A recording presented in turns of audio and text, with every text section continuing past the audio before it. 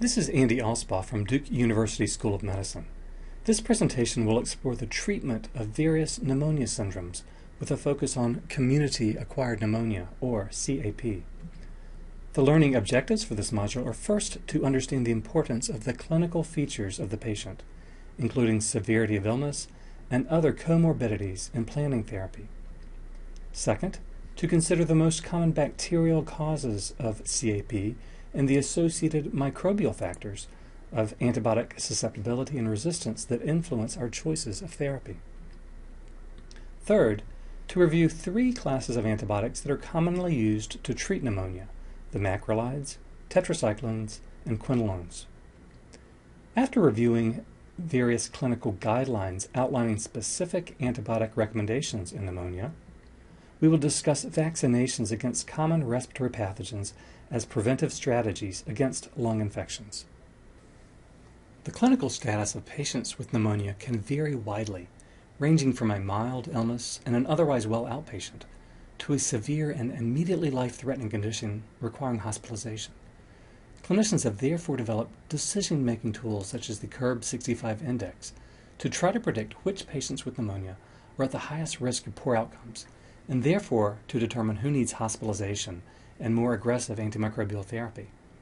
This mnemonic device defines clinical factors that each increase the risk of adverse outcomes in pneumonia, such as confusion, uremia or renal failure, rapid respiratory rate, blood pressure changes, and advanced age.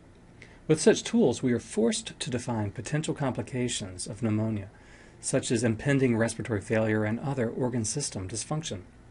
This risk calculator and similar tools help us to guide our decisions about how to monitor and treat individual patients.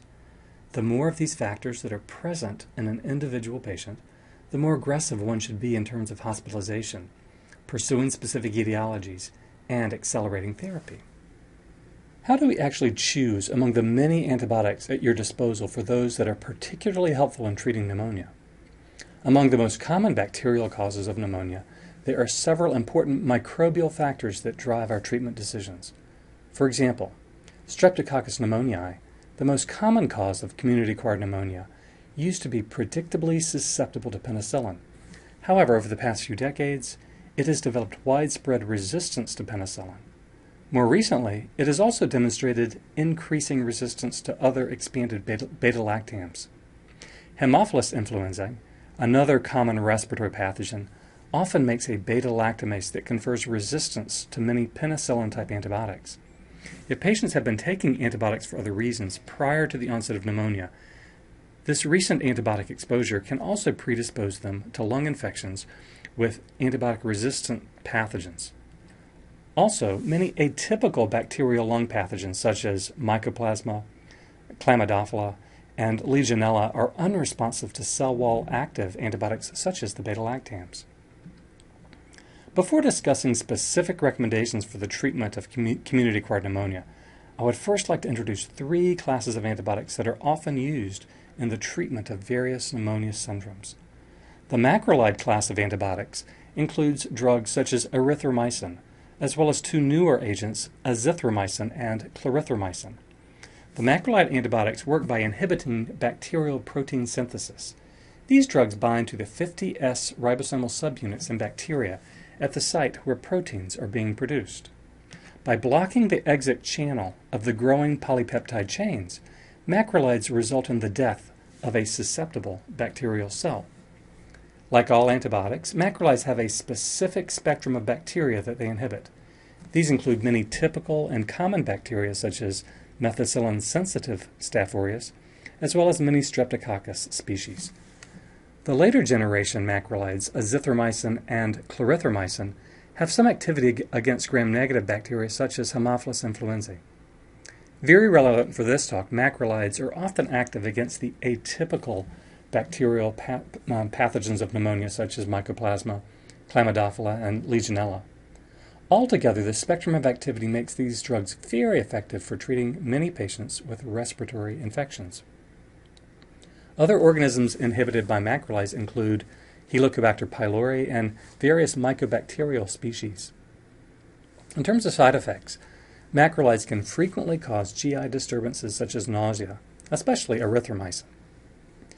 Macrolide use can also result in cardiac repolarization delays and prolongation of the QT interval on the EKG, so care must be taken if co-administering with other agents that share this property.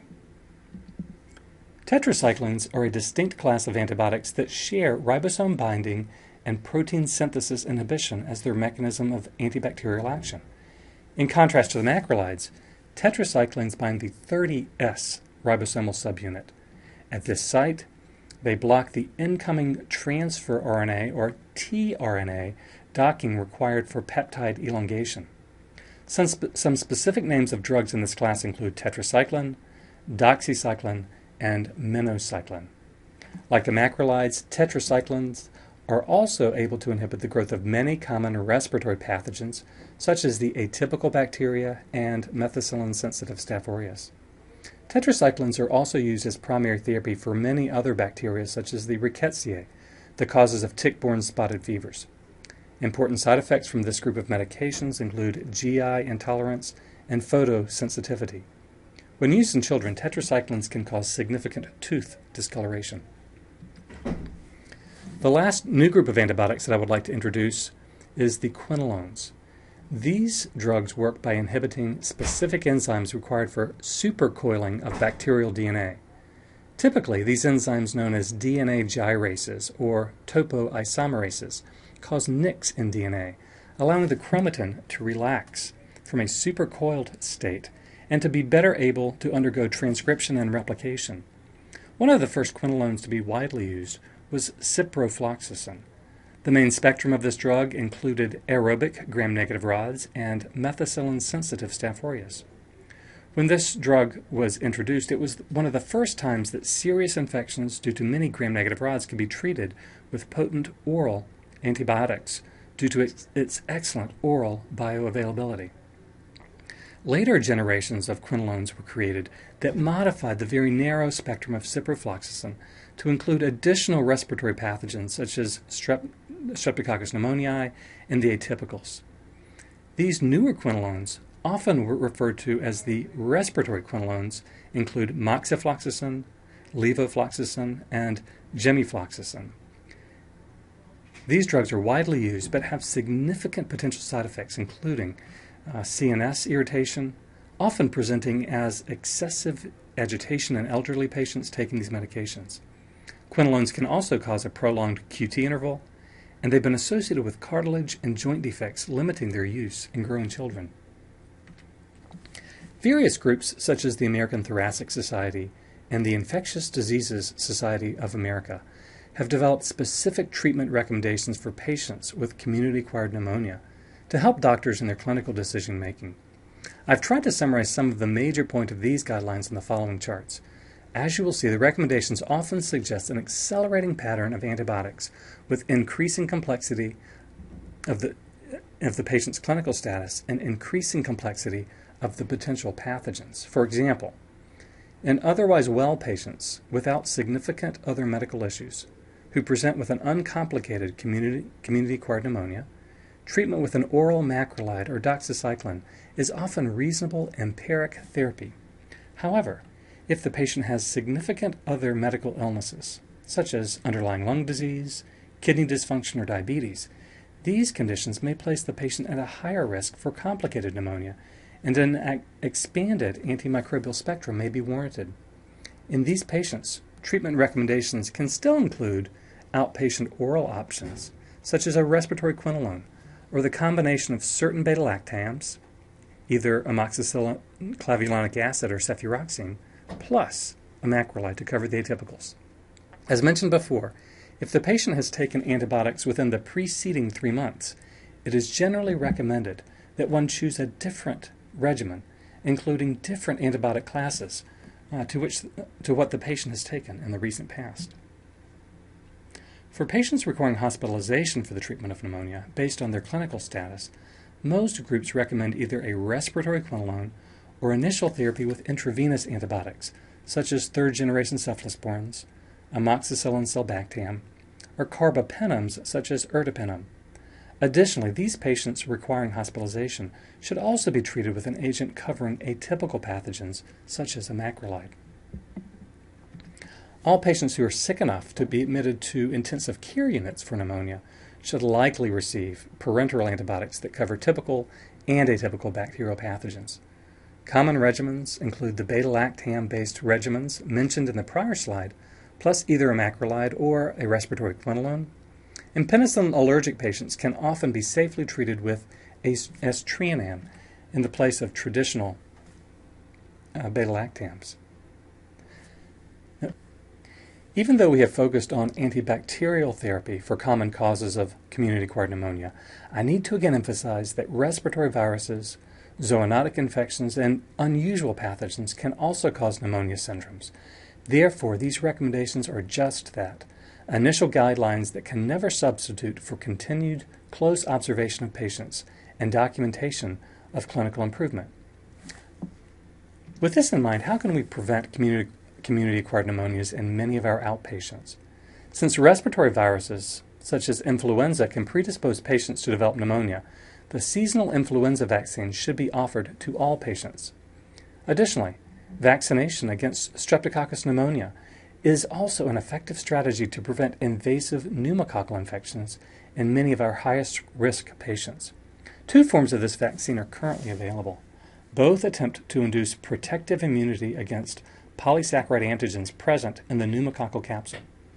It is well known that prior exposure to specific capsular types of this microorganism often protects from infection due to bacteria from the same capsule antigens. The standard pneumococcal vaccine includes 23 capsular antigens, and it is therefore referred to as the 23 valent vaccine. It is recommended to be used in patients older than 65 as well as in adults with many chronic medical illnesses such as chronic kidney failure and chronic lung disease. Also, given the importance of the spleen in preventing pneumococcal infections, all splenectomized patients should be vaccinated. Another pneumococcal vaccine is best used in patients who are less able to develop an immune response against the polysaccharides present in the standard vaccine. In the 13 valent conjugated vaccine, there's a physical link between the 13 polysaccharide antigens with haptens, or protein-like antigens, that stimulate an immune reaction against the capsule components. It has long been known that children are less able to develop immune responses to polysaccharides, and more recent evidence suggests that older patients also may have difficulty responding to these antigens. Therefore, I predict that the conjugated vaccine will become even more widely used in the coming years, beyond the standard recommendation for use in young children. Together, these vaccinations have been demonstrated to reduce the incidence of pneumonia in many of our highest risk patients.